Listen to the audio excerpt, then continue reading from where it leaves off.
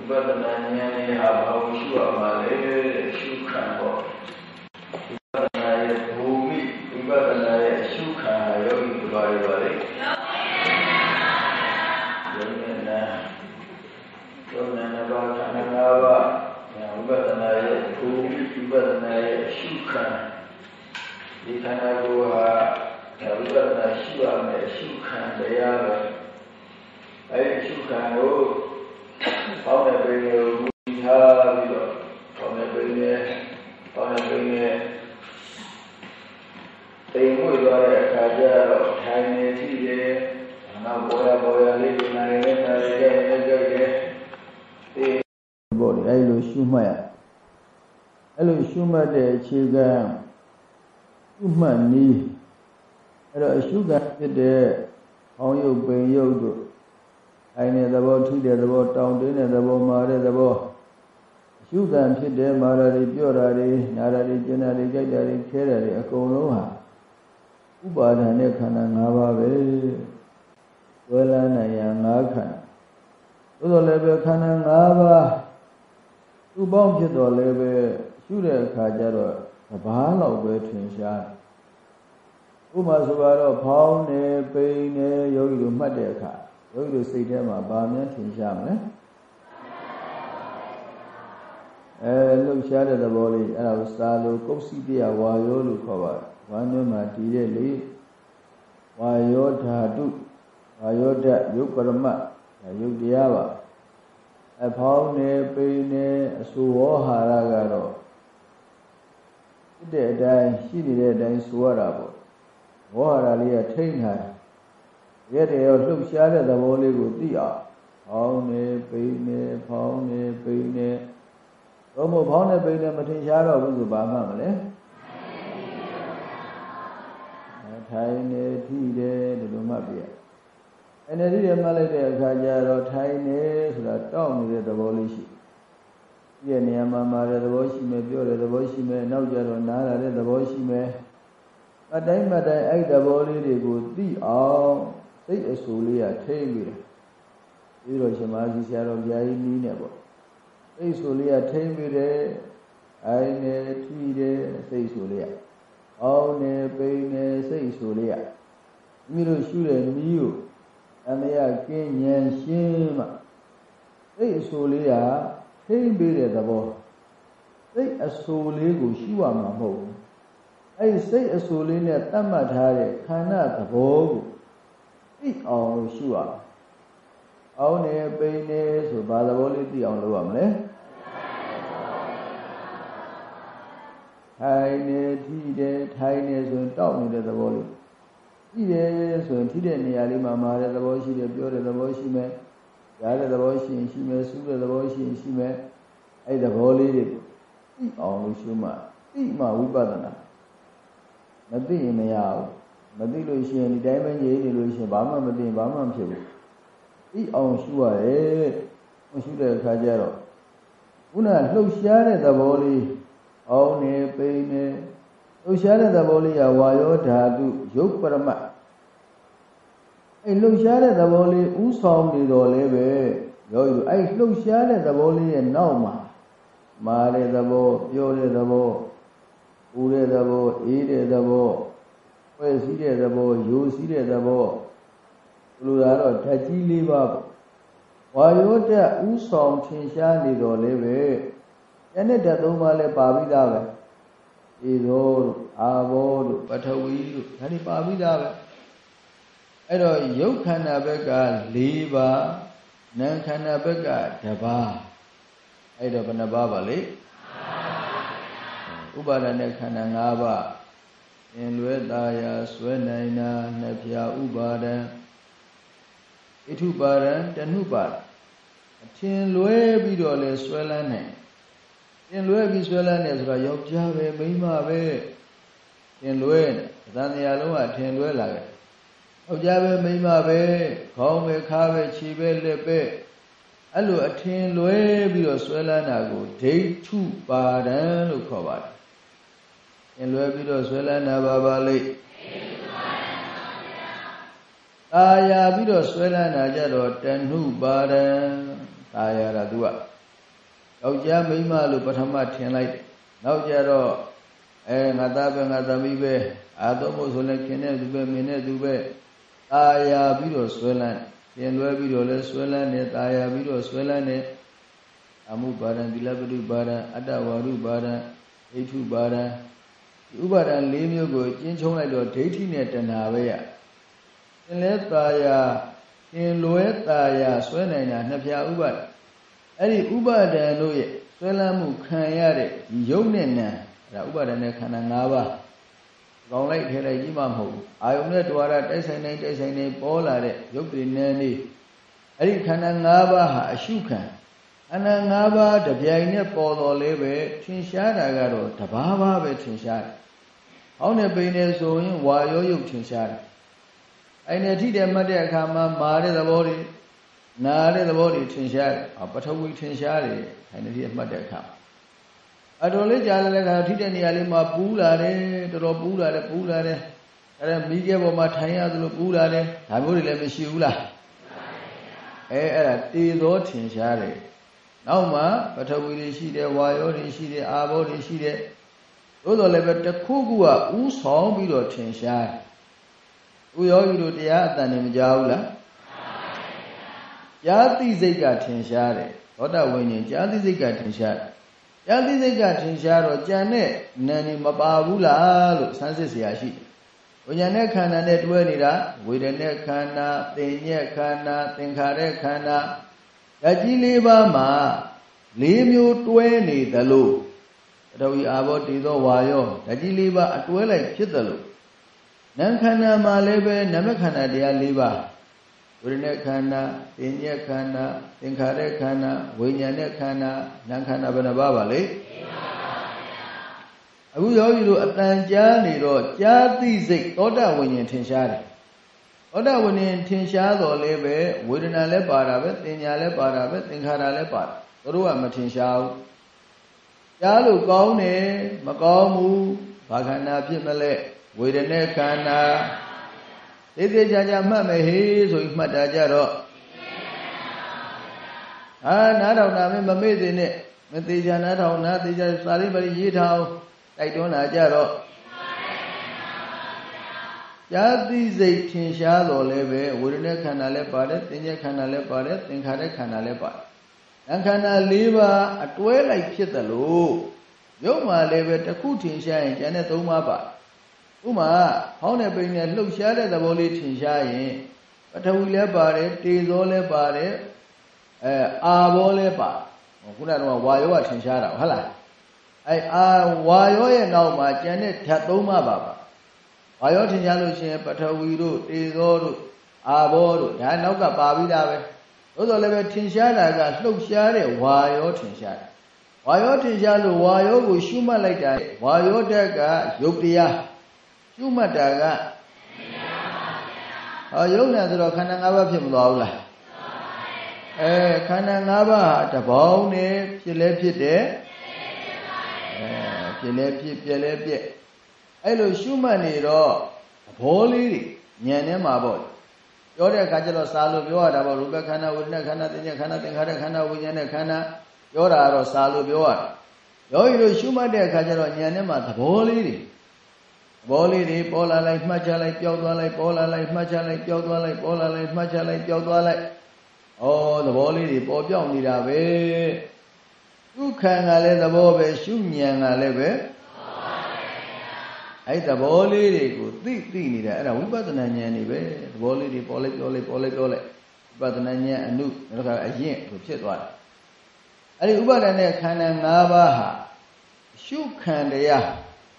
ဥပါဒဏ်နဲ့ခန္ဓာ၅ပါးတစ်ခုရှုလိုက်လို့ရှိရင်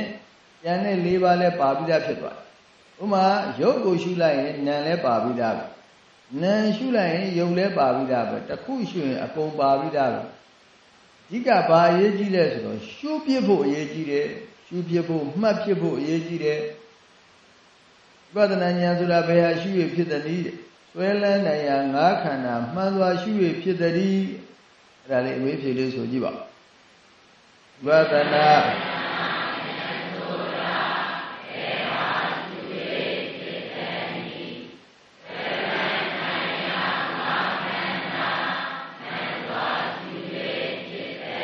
အဲတော့ပါပဲချမ်းသာလို့အားလို့ရပါ ဝိပဿနာဉာဏ်ဆိုတာဘယ်ဟာရှိရဖြစ်သနည်းဝိပဿနာရဲ့ဉာဏ်ရဲ့ဝိပဿနာဆိုတာအထူးကြည့်တာဉာဏ်ဆိုတာကအထူးသိတာမရိုးကြကြည့်တာမဟုတ်ဘူးမရိုးကြကြည့်တာတော့ယောက်ျားမိန်းမအနေနဲ့ပဲကြည့်တာပဲခင်တရားမင်းတရားပဲမုန်းတရားပဲဒီလိုကြည့်တာတဏမာနဒိဋ္ဌိမျက်လုံးနဲ့ကြည့်တယ်ဒါတမရိုးကြကြည့်တာအပင်စမျက်လုံးလို့ခေါ်ပါတယ် အခုကအထူးကြည့်တာတဲ့ယောက်ျားမိန်းမကိုအဓိကကြည့်တာမဟုတ်ခေါင်းခါခြေလက်ကိုလည်းကြည့်တာမဟုတ်အဘောကိုမြင်အောင်လို့ပေါ်သေးပေါ်သေးပြစ္ဆုတ်ပံတဲ့တဲ့ကိုရှုမှတ်တယ်ဆိုတာအဲ့ဒါကြည့်တာပဲပြစ္ဆုတ်ပံတဲ့တဲ့ဖောင်းရင်ဖောင်းနေပိန်ပိန်နေနာရင်နာတယ်ကြိုက်ရင်ကြိုက်တယ်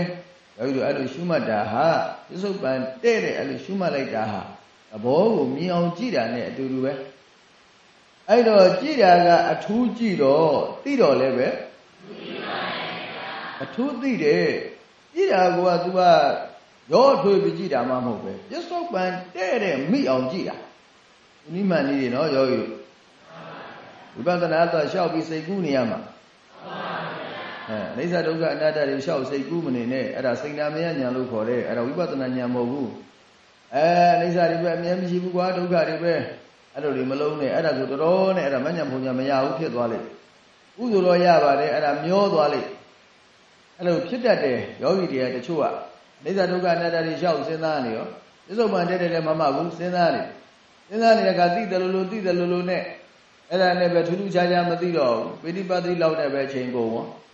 ပိဋိပတ်တိလောက်နဲ့ချိန်ကုန်တာပရိစိတ်တဲ့လည်းပိဋိပတ်တိဖြစ်တာပဲဗျပိဋိပတ်တိကဘာမှထူးဆန်းတာမဟုတ်ပါဘူးထူးထူးဆန်းဆန်းကြီးအောင်းမေမနေနဲ့ ပိဋိပတ်တိဖြစ်တယ်ဆိုတာသမထသမားတွေလည်းဖြစ်တာပဲသုတ်ပန်တဲ့တဲ့ပေါ်စေပေါ်ခိုက်မှာရှုမှတ်ဖို့အရေးကြီးတယ်အဲခိုက်မှာမှတ်ရမယ်အေးအရေးကြီးလို့ပြောနေပါတယ်ဝိပဿနာဉာဏ်နဲ့ထင်းထင်းရှားရှားဖြစ်စေခြင်းလို့ဘယ်နည်းနဲ့ပဲရှုရှုဘယ်နည်းမှဥစ္စနောပုဂ္ဂဘူးကိုကြိုက်တယ်လို့ရှုသို့တော်လည်းပဲရစ္ဆုတ်ပံတဲ့တဲ့မိအောင်ရှုမှတ်ကြ ရစ္ဆုတ်ပံတဲ့တဲ့မမိဘဲနဲ့ရှောက်စဉ်းစားနေလို့ကတော့အဲ့ဒါဝိပဿနာမဟုတ်ဘူးအဲ့ဒါသုံးတတ်နေတာအိနာမယဉာဏ်လို့ခေါ်တယ်အကုသိုလ်တော့မဖြစ်ပါဘူးကုသိုလ်ပါပဲသို့တော်လည်းပဲရှေ့ကိုတက်မဲ့ဉာဏ်นี่မတက်နိုင်တော့ဘူးဇလပတ်လေစဉ်းစားအတိတ်ရောက်လိုက်အနာဂတ်ရောက်လိုက်အာအတိတ်ရောက်လိုက်အနာဂတ်ရောက်လိုက်ပြစ္ဆုတ်ပံရောက်လိုက်အတိတ်ရောက်လိုက်အနာဂတ်ရောက်လိုက်အဲ့ဒါကြောင့်မလို့တချို့ယောဂီတွေက10နှစ်15နှစ်အားထုတ်ပြီးတော့နှစ်တည်းကအများကြီးကြာနေထိထိရောက်ရောက်ကိုမရ ဣတိရောက်ရောက်ဆိုတာဘာလဲဆိုတာကိုရထားတဲ့မက်ကိုဖလတ်တမပဝင်စားနိုင်တယ်တကယ်ရထားတယ်အဲ့ဒါမဝင်စားနိုင်ဘူးဆိုအဲ့ဒါတကယ်မရသေးလို့ပဲအိဋ္ဌံပြီးဝင်စားရင်ဝင်စားလို့ရသမာဓိအားကောင်းပြန်လို့အားကောင်းပြန်လို့ပြန်ဝင်စားဝင်စားရင်ဝင်စားလို့ရမဝင်စားနိုင်သေးဘူးဆိုရင်ကိုကဝိပဿနာဉာဏ်အဆင့်လောက်ပဲရှိသေးတယ်ဆုံးမရောက်သေးဘူးသို့တော်လည်းပဲတခုတော့ရှိတာပေါ့လေ ကိုရထားတာကြာပြီဆိုရင်တော်တော်နဲ့တော့ပြန်လို့လို့မရဘူးအဲတမာတိကိုပြန်ထူတော်ရသေးတယ်တမာတိတွေအားကောင်းမှနောက်ပြန်ဝင်စားလို့ရသစ္စုပ္ပန်တဲ့တဲ့မိအောင်တတိပေးနေတာနော်အောင်တဲ့ဖောင်းကြိုက်မှာဘယ်လိုမှတ်မဲပိတဲ့ပိန်ကြိုက်မှာအဲထိုင်နေထိတယ်မှတ်တဲ့အခါမှာ အဲပြစ္ဆုတ်ပံတဲ့တဲ့ထိုင်နေတဲ့တောက်နေတဲ့သဘောလေးကိုသိအောင်ထိတဲ့နေရာလေးမှာမားနေတဲ့သဘောလေးကိုသိအောင်ပြစ္ဆုတ်ပံတဲ့တဲ့မှတ်ရဟိုတုန်းကထိုင်ခဲ့တာဒီမဟုတ်ဘူးနော်နောင်ထိုင်လက်တတ်နေလားပြစ္ဆုတ်ပံတဲ့တဲ့အခုထိုင်သေးမှာအခုထိသေးမှာအခုထိုင်သေးထိသေးကိုအာယုံစိုက်ပြီးမှတ်ပါထိုင်နေထိတယ်ထိုင်နေထိတယ်ထိုင်နေထိတယ်မှလည်းမှတ်ရမယ်အဲကြည့်တယ်ဆိုတာဘယ်လိုပါလိမ့် အေးယောဂီတို့သဘောပေါက်ပါစေသဘောပေါက်ပါလေတကယ်လုံးလေးတွေသဘောမပေါက်ဖဲနေမှာဆိုလို့ပင်မခံပြီးတော့အိမ်ကစီးပွားရေးတွေစွန့်ပြီးတော့လာရတာအိမ်မှာစီးပွားရေးတွေမြောက်များစွာကိုစွန့်ပြီးလာအထုတ်ကြတာများသောအားဖြင့်အဲ့တော့ယူနိမန်ဤသဘောပေါက်သွားမှာပြီးတော့မလက်မကြည်လဲကြည့်ဆိုတာကရောက်ပြီးစဉ်းစားခိုင်းတာမဟုတ်ဘူးမှတ်တဲ့အခါမှာစူးစူးဆိုင်ဆိုင်ကလေးမှတ်လိုက်ပါ ။ဘာဖြစ်လို့စူးစိုက်ခိုင်းတယ်လဲဆိုတော့သဘောကိုသိအောင်သဘောအဖြစ်ကိုသိအောင်သဘောအပြက်ကိုသိအောင်မှတ်စိတ်ကလေးရဲ့အမှတ်ခံအာယုံလေးရဲ့ပေါ်တဲ့သဘောလေးကိုသိအောင်ပျောက်သွားတဲ့သဘောလေးကိုသိအောင်တချင်းတော့မသိသေးဘူးပေါ့ဗျာ။မတ်ပါနဲ့မသိနိုင်ဘူးလား။သိနိုင်ပါရဲ့ဗျာ။အဲသိဖို့အတွက်ဘယ်ခိုင်းမှရစ္စုပ္ပန်တည်တယ် ပေါ်သေးပေါ်ကြိုက်ဖြစ်သေးဖြစ်ကြိုက်ဖောင်းသေးဖောင်းကြိုက်မြင်သေးမြင်ကြိုက်ကြားသေးကြားကြိုက်အိုးတော့ကမြင်တာတွေကိုလှမ်းမှန်းပြီးတော့ဟိုတော့မြင်ခဲ့တယ်မြင်ခဲ့တယ်လို့မှတ်ခိုင်းတာမဟုတ်ဘူးနော်အခုမြင်ရင်အခုကြားရင်အခုဝမ်းနေရင်အခုဝမ်းသာရင် ယောဂီတို့လွယ်သလိုနဲ့ခက်တယ်နော်ယောဂီတို့လွယ်သလိုနဲ့ခက်ပါတယ်မယုံရင်စာအုပ်ထဲမှာရေးထားပါဘယ်တယ်မအောင်မေ့ပါနဲ့အာမလွယ်လဲဆိုဒီလိုမှတ်ခိုင်းတာတော့မှတ်ချင်တဲ့စိတ်ဖြစ်ပေါ်ကိုခဲရင်းနဲ့ဉာဏ်ဒီဝတာထားအောင်နဲ့ပိန်နဲ့မှတ်ပါဆိုတော့မမှတ်ချင်ဘူးအိုင်နဲ့ထိတယ်မှတ်ပါဆိုမမှတ်ချင်ဘူးမှတ်ချင်တဲ့စိတ်ဖြစ်ဖို့တော့ခဲရင်းဥမာဆိုတော့ပရိစိတ်ရင်အမြင်ကြားရတယ်တကိုးတွေရ အဲ့ပရိစိတ်ခြင်းနဲ့စိတ်တောင်ဖြစ်ပေါ်ဖို့လွယ်ပါသမထမှာလည်းသူ့ဟာနဲ့သူခက်တာဝိပဿနာလည်းဒီတိုင်းပဲပေါ်ရပေါ်ရမှတ်ရင်မညံပုံညာရနိုင်ပါတယ်လို့ပြက်ပြက်သားသားအာမခံထားတယ်အဲ့ဆိုဗျာဟောတဲ့အတိုင်းအာမခံထားပြီနဲ့ဘလူတွေဘလောက်အာမခံခံမှတ်ခြင်းတဲ့စိတ်ကိုမဖြစ်ပေါ်ဘူးဘလို့ပဲမှိတ်ပြီးကြည့်နေကြတာအဲ့ဒါမလို့လွယ်သလိုနဲ့ဘာဖြစ်လဲ ခက်တယ်ယောဂီလွယ်သလိုနဲ့ခက်ပါမိမိတို့အိမ်မှာတစ်ခါတည်းအလုပ်နားတဲ့အချိန်လေးရှိတာပဲဗျာအများတန်းကြီးအလုပ်ကလုပ်နေရတာမဟုတ်ပါဘူးလုပ်လေလုပ်ပြီးတော့တစ်ခါလေးနားတဲ့အချိန်လေးမရှိဘူးလားအဲ့ဒီအချိန်လေးကိုပရိစိတ်မဲ့သူလည်းပရိပေါ့ဗျာဝိပဿနာဆိုလို့ဝိပဿနာပေါ့အဲ့လိုရှုကျင်တဲ့စိတ်တောင်ဖြစ်ပေါ်ဖို့လွယ်ရဲ့အဲ့ဒီအချိန်လေးမှာတခြင်းနားထောင်အဲ့ဒီအချိန်လေးမှာဟိုမှာဗီဒီယိုကြည့်တယ်ဆိုတော့ဘယ်လိုလုပ်တရားလုပ်တော့မလဲ ဟိုဉာဏ်ဖြစ်ဖို့အသာထားအောင်တရားလုပ်ခြင်းတဲ့စိတ်ကိုမလွယ်ဘူးနော်ဒါကြောင့်လွယ်သလိုနဲ့ခက်တယ်ဆိုတာအောက်နဲ့ပိန်နဲ့မှတ်ပါမညံပုံညာရတယ်လို့ပြက်ပြက်သားသားအာမခံထားတယ်အဲ့ဒါကိုမလုပ်ချင်ဘူးပြောတဲ့သူကရန်တန်ပြောထားတာမဟုတ်ဘူးဒီလိုရှင်မာသီဆရာတော်ဘုရားကြီးတို့တကယ်ရလို့ပြောထားတာအဲ့ဒါကိုပေါ်ရပေါ်ရမမရှင်ဦးဒါလေးပဲဒီတိုင်းပဲထိုင်နေတာပဲအဲ့ဒါဆိုလို့ရှိရင်ကဲပေါ်ရပေါ်ရမမဘဲနဲ့ဉာဏ်သေးရတက်ပါ အကြောင်းမလို့ယောဂီတို့ကိုရှင်းအောင်လို့ရှုနိမှန်နေရှင်းမှဉာဏ်ပညာကအလူပါရတယ်ဆိုတာတမညုတ္တမြတ်စွာဘုရားမှသိတယ်ဘုန်းကြီးတို့လည်းမသိဘူးဒီလိုရှင်မာစီဆရာတော်ဘုရားရဲ့ဘလူပါရတယ်လို့ဘယ်လိုမဆုံးပြပေးပါကိုဉာဏ်အဆင့်ကိုယ်တိုင်ကိုယ်တိုင်ချင်းဘုရားရာကိုယ့်ဘက်ကိုဆုံးပြတရားအရာပဲဒါဘုန်းကြီးအရာမှမဟုတ်ဘူးအမညုတ္တမြတ်စွာဘုရားမှာဘသူကပင်ရောက်တယ်ဘသူကသောတာပန်ဖြစ်တယ်ဘသူကသရဂံဖြစ်တယ်ဘုရားမှသိတာကျန်တဲ့သူကမှန်ပြောရတာဘယ်သိလဲ အဲ့တော့ရောက်ရရောက်ကြောင်းမူတာညွှန်ကြားပြတတ်နိုင်ဘလူပါရတယ်ပြောနိုင်ဘူးကိုယ့်ကိုယ်လည်းပြပသားသားကြာကြာနာနာဆုံးမလို့ဆုံးပြလို့မရဘူးဒီခါလေးမှားတတ်တယ်မာတိတော်ကလေးရလာတော့မညံမုံညံရတယ်ထင်နေထင်တတ်တယ်အဲ့ဒါမှားတတ်တယ်ဗျအဲကြောင့်မလို့ဝိနည်းမာတွေကဆိုထားတာရှိတယ်ဒီမာနမြတ်တရဒီမာနဟိုနံပါတ်လေးသိခါဖို့ဒီမာနဆိုတော့ကိုယ့်ကိုအထင်ကြီးတာကိုအညတရကျင်ထားပြီးတော့ကိုယ့်ကိုအထင်ကြီးလို့ပြောတာပါဠိကြမကြဘူး ကိုယ့်ကိုလည်းပဲမဟုတ်မှန်းလည်းသိရတာနဲ့ကြွားရင်တော့အဲ့ဒါပါဠိကပေါ့လေအဲ့ဒီလိုအခုမှလည်းဒီတိုင်းပဲယောဂီမှလည်းကိုယ့်ကိုခါလေးထင်းနေတတ်တယ်တော့ဟုတ်နေပြီလို့အဲ့ဒါမှားတတ်တယ်နော်ယောဂီတို့အထင်သေးလို့ပြောတာလည်းမဟုတ်ဘူးမုန်းလို့လည်းမဟုတ်ဘူးယောဂီတို့ကိုတရားရစေခြင်းလို့ပြောတာအဖြစ်စေခြင်းလို့တရားရစေခြင်းလို့ပြောတာဘောရဘောရလေးကိုရိုးရိုးလေးရှုမှတ်ပါရိုးလေးရှုမှတ်လို့ရှိရင် ရှုမှတ်တဲ့အခါကျတော့သဘောတရားလေးတွေဟာဟောလာလိုက်ကြောက်သွားလိုက်ဟောလာလိုက်ကြောက်သွားလိုက်လေပြင်းမှာဆင်သွားတယ်ဘိုးလိုဝါဒမဟုတ်ရသော်ဗျာတရားတော်ဆိုဝိုးလိုဝါဒရောင်တော်မောင်တော်တရားမဟုတ်ဘူးအိုင်မယ်နေနေသိတဲ့တရားငယ်ရှုမှတ်တဲ့အခါမှာပေါ်လာလိုက်မှတ်ချလိုက်ထက်ခနဲ့ပြောက်သွားလိုက်ပေါ်လာလိုက်မှတ်ချလိုက်ထက်ခနဲ့ပြောက်သွားလိုက်ဘယ်လိုဖြစ်လာလဲအောင်မှတ်စရာတွေကအများကြီးလိုက်မှတ်နေရတယ်မှတ်လို့ကမဆုံးနိုင်အောင်မှတ်လိုက်ပြောလိုက်မှတ်လိုက်ပြောလိုက်မှတ်လိုက်ပြောလိုက်မှတ်လိုက်ပြောလိုက်မှတ်လိုက်ပြောလို့ဖြစ်လာဒီ ဉာဏ်လည်းအများတန်းရှိတာမဟုတ်ပါဘူးဗျကောင်းတဲ့အခါကောင်းလိုက်ပြန်ကြက်တဲ့အခါကြက်လိုက်ဒီလိုသွားတာအဲ့ဒီတော့အဲ့ဒီလိုထင်ထင်ရှားရှားသိဖို့ဆိုတာပေါ်ရပေါ်ရအောင်မလုပ်ရမလဲရောယူပြန်သွားတဲ့အခါရှင်နိမနီပါသွားအောင်သင်ပေးနေတာနော်အဲယောဂီတို့မှာဘယ်ဉာဏ်အဆင့်ရောက်ပြီးဘယ်ဉာဏ်အဆင့်ရောက်ပြီးတာဦးဇင်းတို့မသိဘူးဖရာအရာဦးဇင်းတို့အရာမဟုတ်ဘူးအမှန်ပြီးတော့ပြောရတာဒါဆိုညံကောင်းတယ်ဟေးတော်တော်လေးကောင်းလာပြီဒါ အဲခဲကောင်းတဲ့နေရာရောက်သွားနိုင်တယ်ဒါလိုခံမှန်းပြောရတာ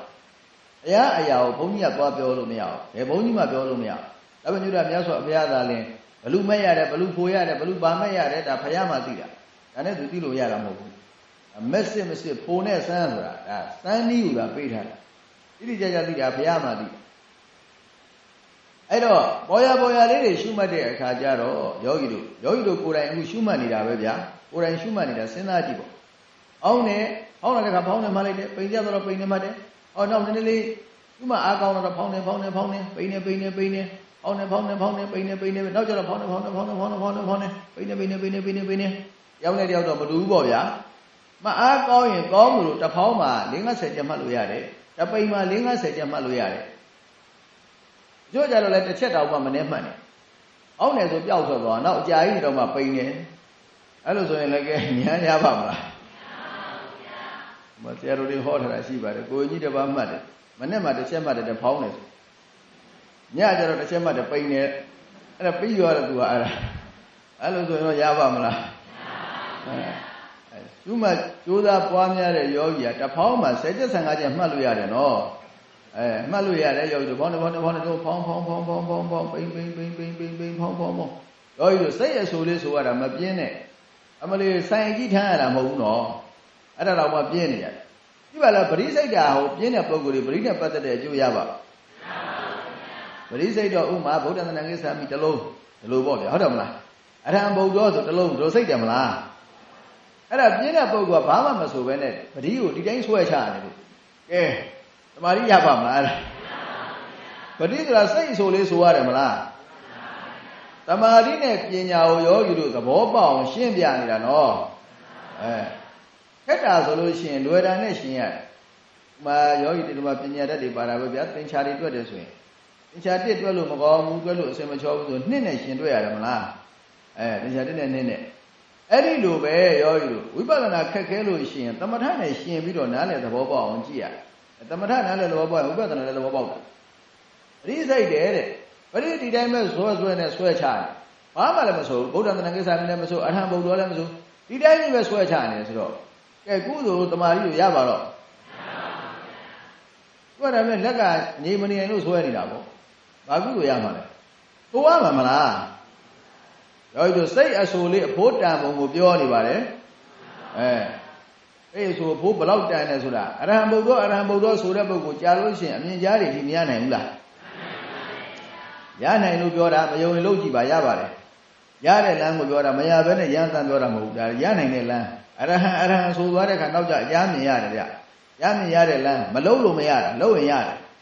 အဲ့ဒါဘာမှအရဟံတို့အရဟံပုဂ္ဂိုလ်တို့ဘာတလုံးမှမဆိုဘဲနဲ့ဒီတိုင်းကြီးမှိတ်နေလို့ရပါမလားသဘောပါရဲ့လားသမထနဲ့ဝိပဿနာရှင်းပြီးတော့သဘောပေါက်အောင်ပြောနေတာအကျိုးကဒီအဆိုလေးဆိုရတာစိတ်ကထစ်တယ်ထောက်တယ်အဲဒါကြီးကပညာကြီးပဲအဲ့လိုလေစင်ကြီးတွေပေးတယ်လို့ အဲ့သူများပေးတာကတော့မယုံတဲ့လူမလုံးနဲ့ပေါ့ဗျာဒါတော့မတတ်နိုင်ဘူးယောဂီတို့အားထုတ်နေတဲ့ယောဂီတန်တရားဖြစ်မှာဆိုလို့အသာလေးမှိမ့်ပြီးတော့ကြည်မနေနဲ့ဩရာလေးတွေကိုဆိုရတယ်နာရင်ဘလို့မှတ်မယ်အဲကြိုက်ရင်ဘလို့မှတ်မယ်အဲ့ဒါဘာဖြစ်လို့မှတ်သဘောလေးတွေရဲ့ သဘောလေးတွေရဲ့အဖြစ်ကိုအပြက်ကိုသိအောင်လို့ဟိုမှတ်တာကိုလည်းသူမှသူများမေးမယ်ဟာဘာဖြစ်လို့မှတ်တာလဲခင်ဗျားတို့ဖောင်းတဲ့ပိန်နဲ့မှတ်ဟာမသိဘူးဘုန်းကြီးကမှတ်ခိုင်းလို့ပဲကဲအဲ့လိုဆိုကောင်းပါမလားဘုရားဘာသာကြီးအမတန်ရိုးသားပါတယ်တဲ့ရိုးရိုးသားသားပဲပြောလိုက်တာမှတ်ခိုင်းလို့မှတ်တာပဲဒါပဲလေသူ့လောက်ကကောင်းနေတယ်ဆိုတော့ဘုန်းကြီးခိုင်းတာလောက်ရတာသွားသွားရင်သွားတယ်မှတ်ပဲလမ်းနဲ့မှညာလမ်းနဲ့မှအဲစားရင်လည်းစားတယ်မှတ်တယ်သူတို့ဟာကြီးကဘယ်လိုကြီးလဲမသိဘူး အဲစားတယ်လည်းမှတ်ရတယ်တဲ့တို့အိမ်မှာစားတော့လို့မှတ်ပါဘူးဒီတိုင်းပဲစားလိုက်တာပဲရောကြီးတို့သူများမေးတဲ့အခါမှာသဘောပေါက်အောင်သင်ပေးနိုင်တော့ဟောနေပိနေထိုင်နေထိတယ်ဘာဖြစ်လို့မှတ်ရတာလဲသဘောလေးတွေဆိုတာဘာနဲ့ပါပါလဲအဲယုံနဲ့ညာဖြစ်ပျက်ကိုသိတယ်ဆိုတာယထာဘုဒ္ဓဉာဏ်ဗျယုံနဲ့ရဲ့အဖြစ်ပျက်ကိုမြင်တာယထာဘုဒ္ဓဉာဏ် ယတ္တဗုဒ္ဓဉာဏ်အားကောင်းရင်နိဗ္ဗာန်ဉာဏ်ဖြစ်မယ်နိဗ္ဗာန်ဆိုတာညင်းငွေတာဒီခန္ဓာကိုယ်ကြီးမလိုချင်တော့ဘူးညင်းငွေတာနိဗ္ဗာန်ဉာဏ်အားကောင်းရင်ဝိရာဂဉာဏ်ဖြစ်မယ်အတာပါယောဂီတို့ယထာဘုဒ္ဓဉာဏ်အားကောင်းရင်နိဗ္ဗိဏဉာဏ်အားကောင်းရင်အဲဝိရာဂဆိုတာယောဂီတို့လိုလားတဲ့မဉ္ဇဉ်ဖုန်ညာပေါ့ဗျမဉ္ဇဉ်ဖုန်ညာရတော့ပေရကားပိတ်ကောခဲ့မအေးချမ်းဘူးလား အဲ့ဒီယထာဘုဒ္ဓဉာဏ်ရဖို့အတွက်ဘာလုပ်ရလဲအုံးသီးတွေထိုးရတာယထာဘုဒ္ဓဉာဏ်ရဖို့အတွက်ပွဲတွေထိုးရမှာလားလို့ဘာတွေလုပ်ရမှာလဲအမလေးခုပဲပြောတယ်ခုပြစ္ဆုတ်ပန်တဲ့တဲ့စူးဆက်တဲ့ရှုမှရမယ်မလား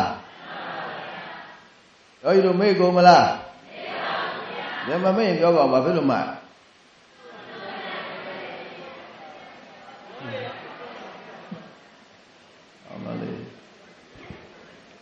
အေးဘောဟုတ်တာပဲအကုန်လုံးမှန်တယ်ဟုတ်လားယောဂီတို့ရှုမှတ်တာကိုသူများမေးတဲ့အခါကျတော့အော်မင်းတို့ဖောင်းတဲ့ပိန်နဲ့မှတ်နေတိုင်းနဲ့ထိတယ်မှတ်နေတယ်ဘာဖြစ်လို့မှတ်ရတယ်လဲသူများတွေကမေးမယ်ဆိုပါတော့ဗျာမေးအဲ့လိုများမေးလို့ရှင်ယောဂီတို့ကဘယ်လိုပြန်ဖြေမလဲမေးတဲ့လူကမပြီးသေးဘူးဗျ။အဲ့တော့ဒီလောက်ကလေးပြီးမှာမဟုတ်ဘူး။သဘောတည်းပြည့်ပြည့်မြင်တော့ဘာဖြစ်မှာလဲဒီလိုမေးဦးမယ်။အဲ့တော့ဘာပြောမလဲကဲ။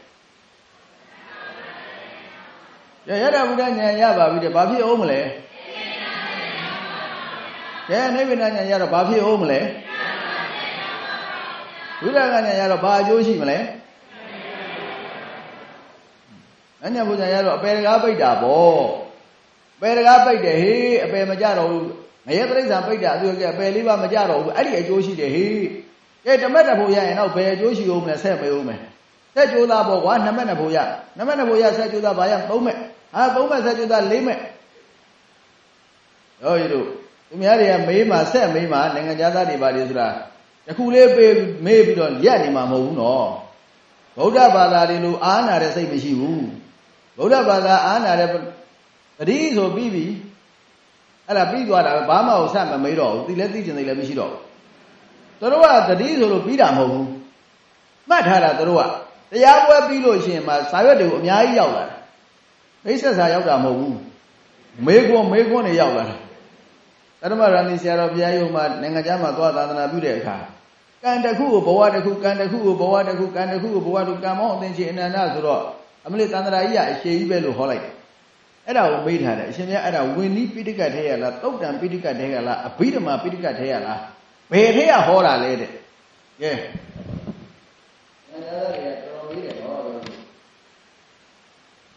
ယောဂီအဟောင်းနေရသတိထားပါ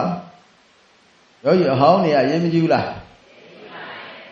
အမင်းငါတို့က10နှစ်15နှစ်နှစ်30 40ဒါလည်းဆို့ပြောမနေနဲ့ဟိုကမေးလိုက်လိမ့်မယ်တခါတည်းနှစ်3 50ရနေဆိုတော့ဖလားသမပဝင်စားလို့ရလားလို့မေးလိုက်ရင်ဘယ်နဲ့လို့ကဲမင်းပြောတာဘာလဲပြန်ပြအောင်အဲအဲ့တော့ယောဂီတို့မိမိတို့လုပ်ငန်းကိုတန်တရားကင်းရှင်းဖို့မလိုဘူးလား ဓမ္မတဘူရတော့နမနဘူနမနဘူရသုံးမဲ့သုံးမဲ့သုံးမဲ့သုံးမဲ့လေးမဲ့လေးဘူလေးမဲ့လေးဘူရပြီးတော့ပြိဋိဘဆန်တော့ဘယ်ရောက်မလဲယနေ့ဘာရောက်တော့ဘာအကျိုးရှိအောင်မလဲယနေ့တော့ဘာအကျိုးရှိအောင်မလဲပြီးပြီမင်းဆက်မမင်းနဲ့တော့ပြီးတာကိုလည်းပြီးမှန်းသိရမယ်ပြီးတာကိုလည်းပြီးမှန်းမသိဘူးဆိုတော့ခက်တာပဲဘုရားဘာသာရည်ရွယ်ချက်ကနိဗ္ဗာန်နောက်ဆုံးမလား အဲနိဗ္ဗာန်ရောက်နေမှာတော့ဘာထက်လောက်အောင်မလဲဟောင်းတဲ့ပိနဲ့လောက်အောင်မလားယာဒဆိုတဲ့ယဟန်မြတ်စွာဘုရားကိုမေးထားတာရှိတယ်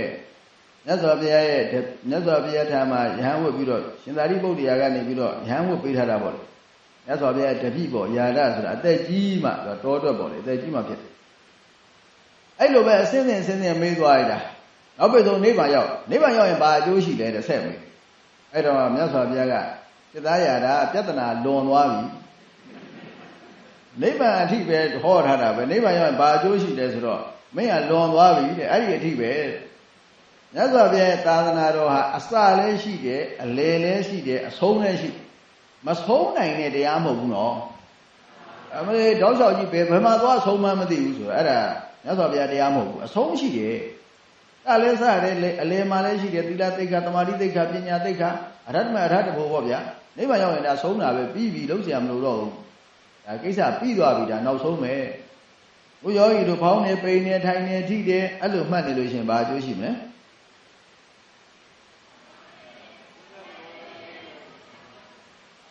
သဘောလေးတွေရဲ့ဖြစ်ပျက်ကိုမြင်မယ်ဘာအကျိုးရှိပါလိမ့် သဘောလေးတွေရဲ့ဖြစ်ပျက်ကိုမြင်မှများရင်နောက်ဘာဖြစ်မလဲ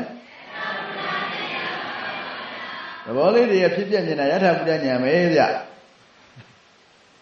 ဘောလေးတွေရဲ့ဖြစ်ပျက်ကိုမြင်မှများတော့ညီးငွေ့လိမ့်မယ်ဒါမြန်မာလိုသွားမှာဟလားအဲအဲသူများတွေကငါ့ကိုဆရာဆရာခေါ်တယ်မင်းကြမှာအာသရိလို့ခေါ်တယ်မင်းဘာကောင်လဲတဲ့သူများတွေကငါဆရာခေါ်တယ်မင်းအာစီခေါ်တဲ့ကောင်ဟိုယထာဘုဒ္ဓဉာဏ်ကိုမြန်မာလိုပြောနေတာ ဟုတ်တယ်မလားအဘောလေးတွေရဲ့ဖြစ်ပျက်ဆိုတာဘာညာမလိမ့်အဲယထာဘုဒ္ဓညာအဘောလေးတွေရဲ့ဖြစ်ပျက်ကိုမြင်မှမြန်ရောယူလို့ဘာညာရမလဲအေးနိဗ္ဗာန်ညာညီးဝေလာမယ်တဲ့ယောဂီတို့ဘာဝင်ညီးဝေမှာလဲရအထုတာကိုညီးဝေမှာလားရုပ်တည်နံတွေခန္ဓာတွေတန်ត្រာတွေကိုညီးဝေလာတယ် တန်တရာမှာနောက်ထပ်ထပ်ပြီးမဖြစ်ချင်တော့ဒုဋ္ဌိနံရဲ့အဖြစ်ကိုအဖြစ်အပျက်ကိုတကယ်မြင်လာလို့ရှင်တန်တရာမှာထပ်ပြီးတော့ယောက်ျားတွေမိန်းမတွေဖြစ်ချင်မအောင်မလားအဲ့ဒါဘာလို့မြင်လို့ပါလဲအေးသဘောလေးတွေရဲ့ဖြစ်ပျက်ကိုမြင်လို့ယောဂီတို့သဘောလေးတွေရဲ့ဖြစ်ပျက်ကိုမြင်လို့ရှင်ယောက်ျားခန္ဓာမိန်းမခန္ဓာလူခန္ဓာနတ်ခန္ဓာနတ်မင်းတရားမင်းဘာမှဖြစ်ချင်တော့ညီးမွေ့တဲ့ဉာဏ်ဝင်လာတယ် ရုပ်တည်နံနေခန္ဓာတွေကိုညီးငွေ့လာအဲ့တော့ရုပ်တည်နံနေခန္ဓာတွေကိုညီးငွေ့တာဘာမြင်လို့ပါလဲအဲ့ဒီသဘောလေးတွေရဲ့ဖြစ်ပျက်မြင်အောင်ဘယ်လိုလုပ်ရမလဲအေးအဲ့ဒါကိုအခြေအမြစ်ကစပြီးသိသေးခြင်းလို့ယောဂီတို့ရှုမှတ်နေတယ်ဆိုတာအဓိပ္ပာယ်မဲ့တဲ့အလုံးမဟုတ်ဘူးအမတန်အဓိပ္ပာယ်ရှိတယ်နော် ကြွတယ်လမ်းနေချတယ်ဘယ်လမ်းနေညာလမ်းနေကြွတယ်ချတယ်ကြွတယ်လမ်းနေချတယ်အဖောင်းနေပိန်နေနာရင်လည်းနာတယ်ကြိုက်ရင်လည်းကြိုက်တယ်အဲ့လိုရှုမှတ်နေတာဟာဘာလို့သိမလဲအဲ့သဘောလေးတွေရဲ့ဖြစ်တဲ့ကိုသိတော့ခန္ဓာကိုညှိငွေလာတယ်သဘောလေးတွေရဲ့ဖြစ်တဲ့ကိုသိတယ်ကယထာဘုဒ္ဓဉာဏ်ညင်းဝေတာကနိဗ္ဗိဏဉာဏ်အဲညင်းဝေပါများတဲ့အခါကျတော့တတ်မဲ့မှုကင်းသွားတယ်သူ့အစင်းနဲ့သူပေါ့ဗျာ အကုန်လုံးတဏှာတော့မကင်းသေးဘူးပေါ့ဒိဋ္ဌိနဲ့ရှင်းနေတဲ့တဏှာကင်းသွားတယ်တတ်မှတ်မှုကင်းသွားတယ်အဲ့ဒါစာလိုပြောတော့ဝိရာဂဉာဏ်တဲ့အများသိအောင်ဆိုရင်မဉဏ်ဘုံဉဏ်ပေါ့ဗျာမဉဏ်ဘုံဉဏ်ရသွားတယ်ညီငွေ့တဲ့အခါကျတော့တတ်မှတ်မှုကင်းတဲ့ဉာဏ်ရတယ်ဝိရာဂဉာဏ်အဲ့ဒါမဉဏ်ဘုံဉဏ်ပဲမဉဏ်ဘုံဉဏ်ရပြီဆိုတော့အပေလေးပါးတကားပိတ်သွားပြီအပေလေးပါးမကြတော့ဘူးတဲ့အလွန်အကျွံသန္တရာလင်ခုနှစ်ဘဝပဲသန္တရာလေရတက်ပြီးတော့ဝိပဿနာကြိုးစားမယ်ဆိုရင်တက္ကရာဂမိမဉဏ်ဘုံဉဏ်ရမယ် တက္ကရာမိမဉ္ဇဉ်ဘုံဉဏ်ရလို့ရှိရင်ဒီကာမသုဂတိခုနဘုံကိုလူပြည်ရဲ့နတ်ပြည်6ထက်ရဲ့ပေါင်းလိုက်တော့ဒါကူလေးနဲ့ချရေးကြည့်ပါဦး1နဲ့6နဲ့ပေါင်းတာလေဘယ်လောက်ရလဲအဲခုနဘုံကာမသုဂတိခုနဘုံမှာတစ်ခါပဲပြန်လာတော့မနှစ်ခါမလာတော့ဘူးတစ်ခါပဲတက္ကတံကံဖြစ်သွားတယ်နောက်တခါဆက်ပြီးအားထုတ်လို့ရှိရင်အနာဂါမိမဉ္ဇဉ်ဘုံဉဏ်ရမယ် ကာမတုဂတိဘုံမလာတော့ဘူးကာမဆက်တဲ့ဘုံအကုန်မလာတော့ကာမဆက်တဲ့ဘုံဆိုတာအပယ်လေးပါးနဲ့ပေါင်းလိုက်ပေါ့ဗျာကာမဆက်တဲ့ဘုံလုံးဝမလာတော့ဟိုသုဒ္ဓဝါဒ၅ဘုံမှာအနာဂံမြမာကြီးသွားဖြစ်အဲ့ဒီမှာယဟန္တာဖြစ်အဲ့ဒီကနေနိဗ္ဗာန်သွားမှာအဲ့တော့သောတာပန်ဖြစ်တဲ့အခါအပယ်လေးပါးမှကင်းလို့တဲ့တက္ကရံကံဖြစ်တဲ့အခါမှာကာမသုဂတိဘုံကိုတစ်ခါပဲပြန်လာတော့မယ် ဩအနာဂံဖြစ်တဲ့အခါကျတော့သုဒ္ဓဝါဒ၅ဘဝနဲ့နိဗ္ဗာန်ကိုသွားမယ်ယဟန္တာဖြစ်ပြီဆိုရင်တော့သုဒ္ဓဝါဒ၅ဘုံတော့မသွားတော့ဒီဘဝမှာပဲပြိဋိဘံဆန်တဲ့အခါမှာနိဗ္ဗာန်ကိုကူးမယ်နိဗ္ဗာန်ကိုရောက်မယ်နိဗ္ဗာန်ကိုမျက်မှောက်ပြုမယ်အဲ့နိဗ္ဗာန်ရောက်တဲ့အခါကျတော့ဆင်းရဲခတ်သေးမငြိမ်ဘူးလားအဲ့ဒါဘယ်ရစပါလိမ့်အေးပြစ္ဆုတ်ပံတဲ့တဲ့ရှုမှတ်တာကစတယ်ရောက်လို့နိဗ္ဗာန်နဲ့ပြစ္ဆုတ်ပံတဲ့တဲ့ရှုမှတ်တာနဲ့ဆက်သွဲနေတာကိုပြောပြတာနော် နိဗ္ဗာန်ရောက်ခြင်းနဲ့ရောက်ခြင်းနဲ့ပွဲထုတ်ုံနဲ့ရောက်ပါဆူတောင်းနေုံနဲ့ရောက်ပါဟာဘယ်လိုလုပ်မှရောက်ပြစ္ဆုတ်ပံတဲ့တဲ့ပေါ်ရာပေါ်ရာကိုပြစ္ဆုတ်ပံတဲ့တဲ့ရှုမှတ်လို့ရှိရင်သဘောတရားလေးတွေရဲ့ပေါ်ရာပြောက်တာသိလာလိမ့်မယ်ဖြစ်တာဖြစ်တာပေါ့ဗျာပေါ်ရာပြောက်တာဖြစ်တာဖြစ်တာသိလာလိမ့်မယ်နာဂံဆရာတကြီးနည်းနဲ့အထုတ်မယ်ဆိုရင်လည်းဘယ်တကူလုံးမရောမောမောနဲ့ပြက်နေတာတွေမြင်လိမ့်မယ်သူကတော့သမထထူတော်ပြီးတော့မှခန္ဓာကိုယ်ကြည့်တာ သူနည်းသူဟာနဲ့သူကသူဟုတ်တာပဲဒါပေါ်လာပြောက်တာတွေမြင်နေတာပေါ်လာပြောက်တာတွေမြင်မှများလို့ရှိရင်ခန္ဓာကိုယ်ကြီးကိုဘာဖြစ်လာမလဲအဲညင်းငွေလာမယ်ညင်းငွေတယ်ဆိုတာဒီခန္ဓာကိုယ်ကြီးကိုမက်မက်မောမောနဲ့မပြုတ်မပြင်းရင်တော့အာယုံ၅ပါးကာမဂုဏ်တရားအတွက်ဒီခန္ဓာကိုယ်ကြီးကိုအသုံးမချကြတော့ဒီခန္ဓာကိုယ်ကြီးကိုတရားအတွက်ပဲသုံးချကြတော့နောင်လာလက်တဲ့ခန္ဓာကိုယ်လည်းပဲမလိုချင်တော့ ဘုခန္ဓာလည်းပဲမတွေ့တာနောင်ခန္ဓာလည်းမလိုချင်ညီးဝတ်အဲ့ညီးဝတ်တဲ့ဉာဏ်လေးအားကောင်းပြီးတော့ဣန္ဒြေတွေထက်တဲ့ဣန္ဒြေညီမြတဲ့အခါကျတော့ဟောရွှေမိုင်နဲ့ချုပ်သွားတော့ဟောမဲ့ညာဘုံဉဏ်တဲ့မဲ့ညာဘုံဉဏ်ရသွားတော့ပယ်လေးပါးတကားပိတ်သွားပြီပယ်မကြတော့ဘူးအဲ့ဒီကနေဆက်အားထုတ်လေးမဲ့လေးဖို့ရလို့ရှင်နိဗ္ဗာန်ရောက်မယ်အဲ့လိုနိဗ္ဗာန်အထိရောက်ဖို့ဆိုတာအခြေခံကဘယ်ရစလဲဆိုတော့အဲယောဂီတို့နေတိုင်းနေတိုင်းဗာလေလို့နေပါလိမ့် အေးပြစ္ဆုတ်ပန်တဲ့တဲ့ရှုမှတ်နေတယ်မလားအဲ့တော့ဘယ်ကိုသွားနေပါလဲယောဂီ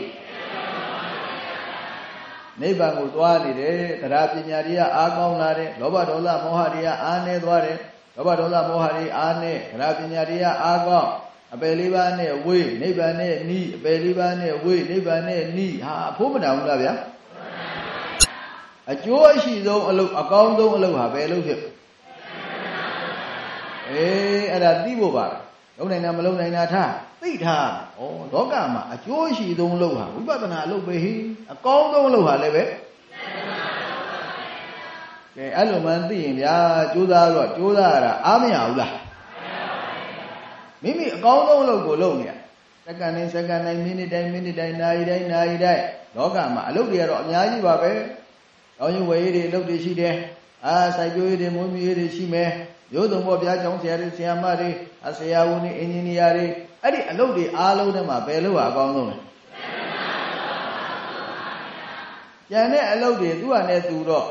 ကုသိုလ်တွေပါလေရကျင်ရမှာပေါ့။သို့တော်လည်းပဲမညံဘုံညံဒါရိုက်ရနိုင်ပါမလား။အဲဝိပဿနာအလုံးမှာမညံဘုံညံကိုအားထုတ်နေရင်လည်းဟိုရနိုင်တယ်ဗျ။ပြစ္ဆုတ်ပံမှာလည်းဘေးရန်အန္တရာယ်ကင်းမယ်။တမလွန်မှာလည်းအပယ်လေးပါးတကားပြိမယ်။နိဗ္ဗာန်ကိုလည်းမြန်မြန်ရောက်မယ်။ကဲမကောင်းဘူးလားဗျာ။ ကောင်းရဲ့သားနဲ့ဘာလို့မလုပ်နိုင်ပါလိမ့်။မလုပ်ချင်လို့ပေါ့ဟုတ်တယ်မလား။ကောင်းဆုံးသိနေတာပဲဗျာ။အကောင်းဆုံးသိနေတာတို့တော့လုံးပြအောင်ကြိုးစားမယ်ဟိ။တို့ဆိုတော့တယောက်တည်းနေတယ်။တယောက်တည်းဆိုအလုပ်တွေပါတွေထွက်ပြီးအားထုတ်ပါတော့မကောင်းဘူးလား။အမလေးပြည့်တန်ဖြစ်သွားတယ်။ဟုတ်ပြီတို့သူများတွေကသားနဲ့သမီးနဲ့ဆိုထားပါတော့သားနဲ့သမီးနဲ့ကိုဘုစုခရုတွေနဲ့မလို့ဘလို့မှမတတ်နိုင်ဘူးထားပါတော့ဘုစုခရုတွေအဲ့ဒါမိမိတို့က အထုတ်ချင်ပေမဲ့လို့သားတွေသမီးတွေကရှိသေးတာဟုတ်ဗျ။သားသမီးတယောက်မှမရှိတဲ့တယောက်တည်းနေတဲ့ပုံကိုတကယ်အထုတ်လိုက်ရင်မကောင်းဘူးလား။မှန်ပါဗျ။ဘာဖြစ်လို့အာမထုတ်တာ။အေးဟုတ်တာအမှန်တရားပဲအမှန်တရားပြောတာဟုတ်တယ်မလား။အဲ့တော့ယောဂီတို့အမှန်တရားတွေအကောင်းတရားတွေသိအောင်လို့ပြောပါတယ်ဥပါဒณะခန္ဓာ၅ပါးကိုယောဂီတို့ရှုရမယ်တဲ့အဲဆိုကြည့်ပါဦးဝိပဿနာဉာဏ်ဆိုတာဝိပ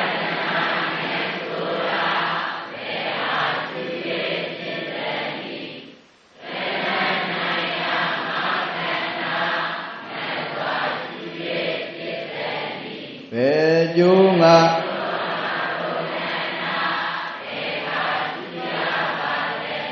မဆွဲ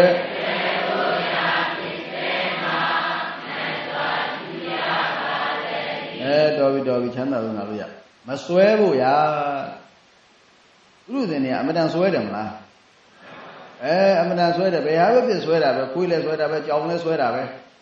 ကုံဆွဲတာပဲ ဘာနဲ့ဆွဲတယ်ဆိုတော့ဒိဋ္ဌိနဲ့လည်းဆွဲတယ်တဏှာနဲ့လည်းဆွဲတယ်ဒိဋ္ဌိနဲ့ဆွဲတယ်ဆိုတာကအထင်လွဲပြီးတော့ဆွဲတာယောက်ျားပဲမိန်းမပဲသားပဲသမီးပဲသူသားတွေသမီးတွေရှိကြတဲ့ပုံကိုယ်တွေငါသားပဲငါသမီးပဲအမှန်တမစွဲဘူးလားတရားသဘောအနေနဲ့ဒါခမရသားတွေသမီးတွေမဟုတ်ပါဘူးဗျာဆိုခံနိုင်မမခံနိုင်လည်းမတတ်နိုင်ဘူးအမှန်တိုင်းပြောတာပဲလားပဲသားသမီးဆိုတာပြညတ်ထားတာမလား ပဲသားသမီးဆိုတာရှိရဲ့လား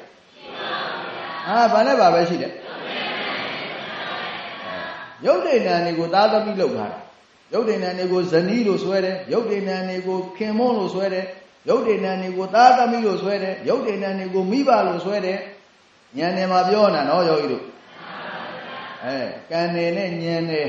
ကံနေမှာတော့ဒါမိဘတွေယူသေးရမှာပဲလုံကျွေးရမှာပဲတက္ကဌာနဉာဏ်နဲ့မှာကိုယ်တိုင်သိဖို့ကြတော့မိဘလည်းယုံနံပဲ ယုံနံဆိုတော့ဖြစ်ပြပဲအိစ္ဆဒုက္ခအနတ္တတရားပဲမလား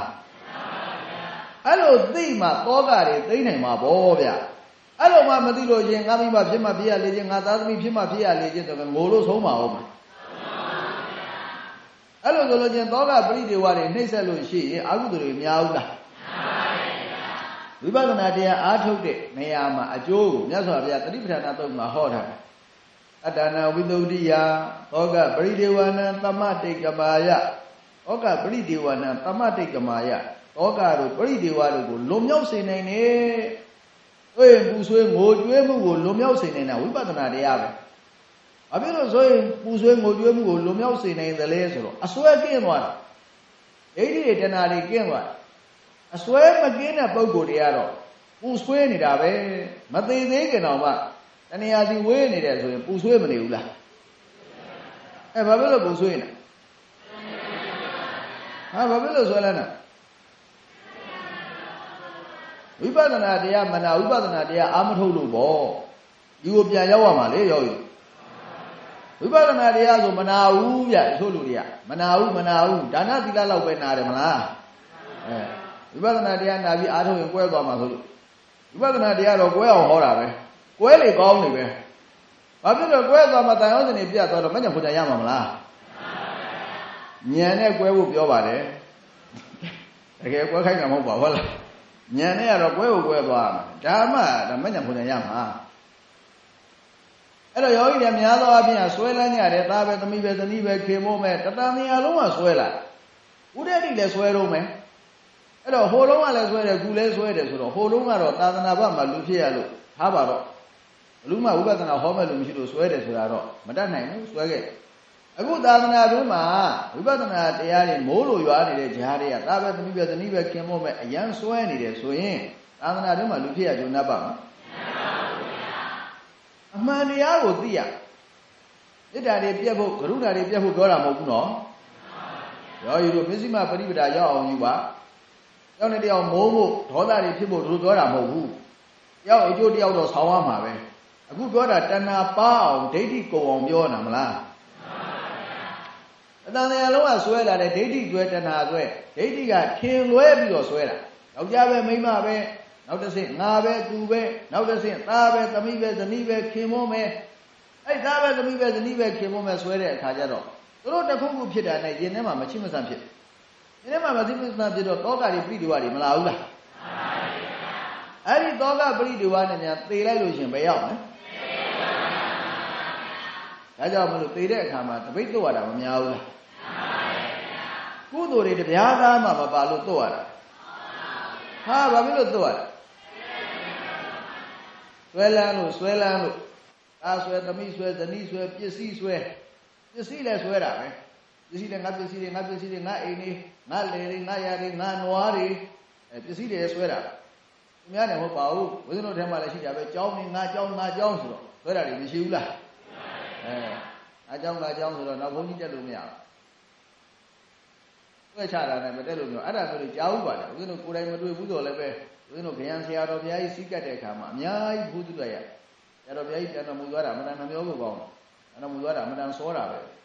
ဆရာတော်ဘုရားကြီးတုတ်တန်မှာတခါတည်းတုတ်တန်တူတင်ဆောင်းပုံတွေအတွေ့အကြုံတွေဆရာတော်ကြီးရှိသွားတာအများကြီးခါတည်းနဲ့ဘုသူတအများကြီးရဒီလိုညံမမီတဲ့ဘုသူတတွေအများကြီးရအဲ့ဒါလူတို့က ဆရာတော်ဘုရားကြီးအဲ့လူတို့တရားတရားထိုင်တယ်အဲ့ဒါကကြောင့်ကျောင်းလေးကျောင်းမှာအဲ့လိုပဲဘယ်နောက်ဘုန်းကြီးဘယ်သူမှတက်လို့မရဘူးဘလုံးကလန်းနဲ့အကုန်လုံးပြစ်တာဆွဲချပြစ်တာအကုန်လုံးအဲ့ဒါမျိုးတွေတွေ့ရတယ်ဒါပါတော့အဲ့ဒါဘာလဲဆိုတာအစွဲမလားအဲ့ဒါအဲဆွဲတာအိမ်လဲဆွဲတာပဲကျောင်းလဲဆွဲတာပဲပစ္စည်းလဲဆွဲတာပဲလူလဲဆွဲတာပဲအချို့ဆိုဆွဲတာကြည့်ပါလားဓမ္မပဒဓမ္မဟောထားတာအဲ့ဒီအမျိုးသမီးနောက်မှာတခါတည်းအဲ့ခွေးရအမြဲလိုက်အဲ့မျိုးသမီးပါရင်ခွေးရပါတာပဲအဲသွားသွားခွေးရပါတာပဲ ဘာဖြစ်လို့လဲဆိုတော့အဲ့ဒီခွေးရဟိုတော့ကသူ့ယောက်ျားကိုတွဲပြီးသေတဲ့အခါကျတော့သူမိမနာမှာလာဖြစ်တယ်ဗျာတွေးလာဖြစ်ရပထမဆုံးမွေဖြစ်တယ်တဲ့မွေဖြစ်တော့ကလည်းအဲ့ဒီမျိုးသားသေတဲ့ခါကျတော့မွေဖြစ်တော့အဲ့ဒီအမျိုးသမီးအပေါ်ကပဲမွေကြီးကပြစ်ပြစ်ချအဲ့ဒါတပ်ပလိုက်ရောနောက်ကြပြီးတော့တပ်ပလိုက်နောက်တစ်ခါနွားဖြစ်နွားဖြစ်တော့လည်းအဲ့ဒီအမျိုးသမီးနောက်ပက်လိုက်နေတာအဲ့နွားအဲ့ဒါလည်းတတ်ခံရပြန်တာပဲနောက်ကြတော့သူ့ပိုက်ထဲမှာဝင်ပြီးသားဖြစ်ရတယ် တဲ့ဘယ်လမ်းမှုများမနေ့ကြောက်ဖို့မကောင်းဘူးလားအဲမွေလည်းဖြစ်တယ်နွားလည်းဖြစ်တယ်နောက်သူ့သားဖြစ်ရတယ်ဗျာမနာမနာဘူးလားအဲ့ဒါဘာဖြစ်လို့ပါလဲဟာဘာဖြစ်လို့ဇွဲလန်းပါလဲအေးဝိပဿနာတရားတွေမနာဝိပဿနာတရားတွေအာမမထုတ်ပဲဗျဝိပဿနာတရားဆိုထွက်ပြေးတဲ့သူကများဘူးလားဗီဒီယိုရှိပဲသွားတာပဲတောင်းမှတခါလေကြာမှကျင်းပါတယ် အာဗီဒီယိုဖွင့်နေအောင်လို့တို့လာတာတရားပွဲလဲဆိုတော့ပြန်ပြေးရောသူလာတဲ့ကွာဒါကြည့်ဖို့လာတာပဲတရားနာဖို့လာတာမှမဟုတ်ပဲအဲ့ဒါမျိုးတွေလူပြများဘူးလားအဲ့ဒါမျိုးတွေတချို့တရားပွဲနဲ့ရှင်လို့တယ်ဗျာမကောင်းပါဘူးလူလာအောင်လို့ဆိုလာခြင်းလားမလာခြင်းနေပေါ့ဗျာကြည့်တာနဲ့ပဲဟောမှာပဲအဲ့တော့လူတွေကများသောအားဖြင့်ဒိဋ္ဌိတဏှာနဲ့ဆွဲလန်းဒိဋ္ဌိတဏှာနဲ့ဆွဲလန်းတဲ့အခါကျတော့က အဲ့ဒီအစွဲအလန်းကြောင့်ကုသိုလ်တွေအများကြီးလုပ်ထားပါရဲ့ဒါနဲ့ဘုရားတကားကျောင်းတကားသင်္ကန်းနေလူစွမ်းနေလူအများကြီးလူတာအဲ့ဒီကုသိုလ်တွေကကောင်းကျိုးပေးခွင့်မသာဘူးအဲ့ဒီအစွဲကြောင့်တခါတည်းပိတ်တာဖြစ်ရနာဘူးလားယောဂီတွေကပြက်ပြက်သားသားသိရမယ်နော်ယောဂီတွေဒီမှာတရားအာထုပ်နဲ့လူဖြစ်နေပဲအာထုပ်အာထုပ်သီလရှင်ဖြစ်နေအာထုပ်အာထုပ်ယဟန်ဖြစ်နေအာထုပ်အာထုပ်ဩတရားသဘောတွေလိုရှိပါလားခဏခဏသပိတ်တွတ်တွတ်နေရတာ ဒါကြောင့်တော့ရတာကိုလက်ဆက်သက်တော့ကုသိုလ်တရားသားမှမရှိလို့တော့ရတာမှမဟုတ်ပဲစွဲလန်းလုံးအားကြီးလို့တော့ရဟုတ်တယ်မလားအချို့များဝင်ပြီးပြောတယ်မင်းဒီလောက်ကြီးအမျှဝေထတာကွာမင်းအမျှမရဘူးလားမရဘူးတဲ့ဘာဖြစ်လို့မမြမရတာလဲမင်းဘာလို့မကြွတာလဲตาတို့မခေါ်ဘူးတဲ့ကြည်လားမင်းตาတို့ခေါ်လို့အမျှဝေတာပဲตาတို့ခေါ်ရင်ကြွသွားမှာသို့လို့တဲ့ကဲမခက်ဘူးလားရောကြီးတို့အဲ အဲ့ဒီလိုအဲ့ဒီလိုတယောက်နဲ့တယောက်ဆွဲပြီဆိုရင်ဒီမှာကျွတ်မှာတော့စိုးနေကြည်သူ့အမျှမျှဝေတာကိုကျွတ်မှာဆိုရင်မခေါ်ဘူးတဲ့ဗဇက်ပိတ်ထားတယ်အဲ့လိုပုံကိုယ်တွေကလည်းရှိသေးတယ်သူကအနားမှာထိုင်ကြည့်နေကြတာဟုတ်အဲ့တော့ယောဂီတို့ဘာလို့ကိုအရေးကြီးပါလိမ့်ဝိပဿနာတရားတွေနာဖို့ဝိပဿနာတရားတွေအားထုတ်ဖို့အရေးမကြီးဘူးလားဘယ်လောက်ထိအားထုတ်မှလဲမ င်းတို့မသိပဲနဲ့မသိပဲနဲ့နှစ်စန်းတရနေ့ထိအားထုတ်ပြီဟုတ်တယ်မသိပဲနဲ့မသိပဲနဲ့ရန်တာမပြောနဲ့အဲ့တော့ယောဂီတို့တကယ်အားထုတ်တင်တာကတမက်တဖို့ရသည်အထိအားမထုတ်တင်ဘူးလားဒါယောဂီတို့မြင်ထဲမှာနှလုံးသွင်းထားဖို့ပါဩအစွဲလန်းနေအမတန်အားကြီးတာပဲဒီအစွဲလန်းနေကြောင့်တတ္တဝါတွေကအာဒုက္ခရိဘုံဘဝရောက်ပြီးတော့ဒုက္ခတွေကြီးကျယ်ရောက်ကြတာပဲလို့ဒီလိုသိလို့ရှိရင် ဝိပဿနာတရားတော်တော်အရေးကြီးတဲ့တရားပဲဟိအမတန်အကျိုးများတဲ့တရားပဲဟိဘလို့သိတော့အားထုတ်ရတဲ့နေရာမှာဝမ်းမြောက်ဝမ်းသာနဲ့အားထုတ်နေဘလောက်ပဲ